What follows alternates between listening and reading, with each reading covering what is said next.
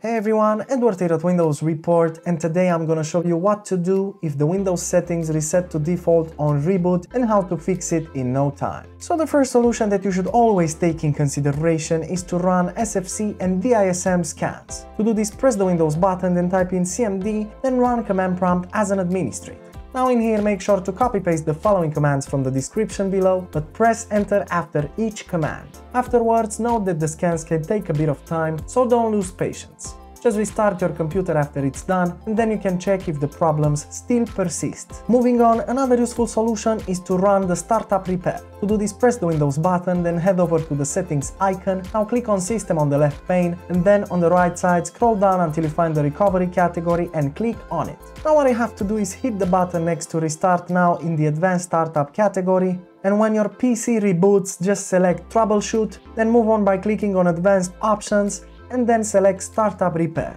From here on, just follow the on-screen steps to complete the automatic startup repair process. Then you can check if the problem still persists. Moving on, another great solution is to fix your user profile.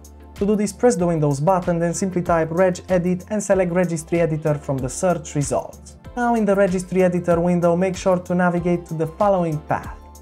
HKey local machine, then expand software, Afterwards, scroll way down until you find Microsoft and in here scroll down until you find Windows NT and simply expand it.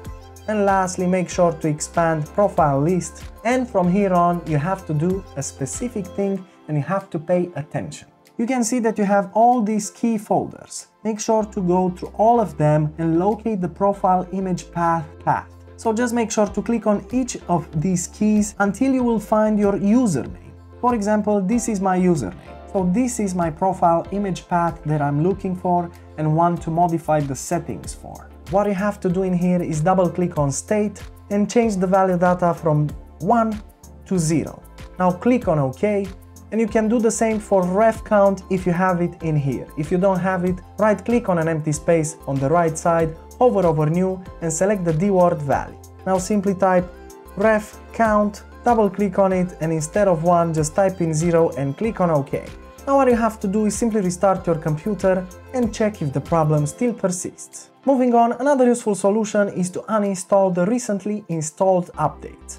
To do this, press the Windows button, head over to the settings icon, now click on Windows Update on the left pane, and then on the right side select the Update History category. Now scroll way down until you will find Uninstall Updates category and make sure to uninstall the latest Windows update. Now what you have to do is restart your computer after uninstalling and then you can check if the problem still persists. And lastly, another useful solution is to perform a system restore. To do this, press the Windows button, then simply type rstrui and select it as a run command from the search results. Now in here, make sure to choose a different restore point and click on next and then select the earliest restore point before the problem occurred. Now click on next and afterwards the last thing you have to do is click on the finish button to start the restoration procedure. Afterwards the process will start and then after the process is finished your computer will be restarted and then you can check if the problem still persists. And that's it!